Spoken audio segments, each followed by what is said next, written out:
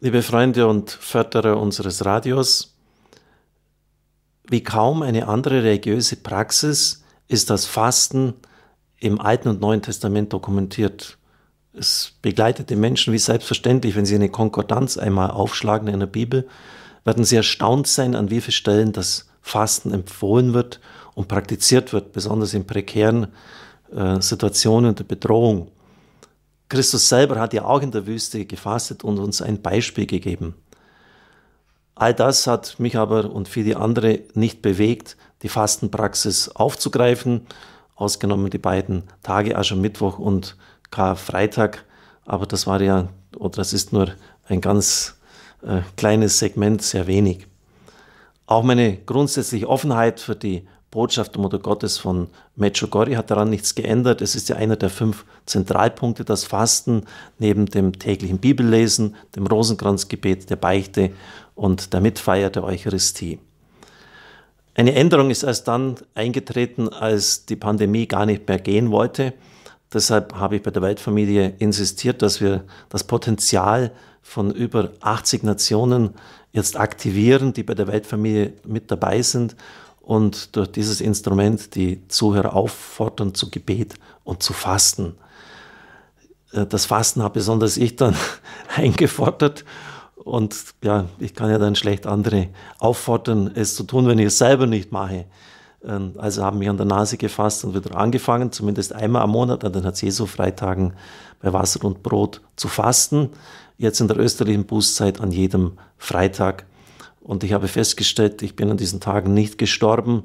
Äh, es hat auch meiner Gesundheit nicht geschadet. Äh, Im Gegenteil, am Tisch, meine Damen im Haus machen da mit, herrscht eine äh, lockere Atmosphäre. Sie freuen sich, dass sie nichts kochen müssen, einfach nur Brot runterschneiden, Wasser auf den Tisch stellen. Das würde sogar ich noch schaffen, obwohl ich gar nicht kochen kann.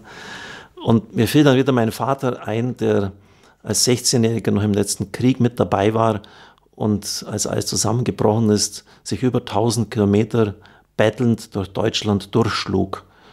Wovon hast du gelebt? Ja, ich bin zu Bauern gegangen und habe um ein Brot gebeten. Erst eine Generation ist das her.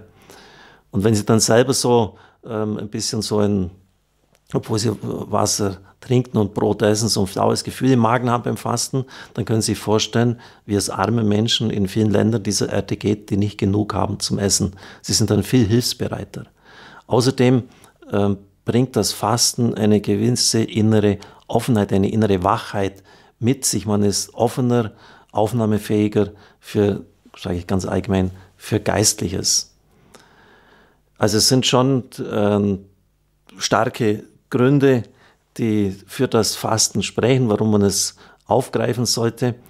Und ich würde mir wünschen, dass jetzt in diesen prekären Zeiten, die wir alle miteinander durchleben, es wieder neu ins Gedächtnis, in Erinnerung kommt und wir auch die Kraft und den Mut haben, es umzusetzen.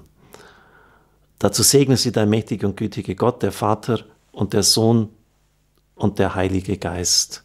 Amen. Einmal habe ich so daneben geschaut, ja. Mhm.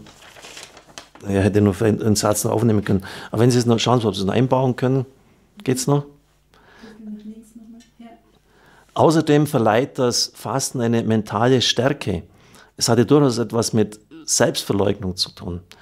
Und Sie können sich endlos verlieren in den Angeboten der Social Media, Twittern, bei Facebook unterwegs sein, googeln oder im Fernsehen mit Digitalradio und äh, Digitalfernsehen äh, werden sie geradezu erschlagen von den Angeboten. Es braucht eine mentale Kraft der Selbstbeherrschung, nur das auszusuchen, was einem gut tut und was hilfreich ist. Das Fasten hilft auf diesem Gebiet sehr, auch in Erfahrung.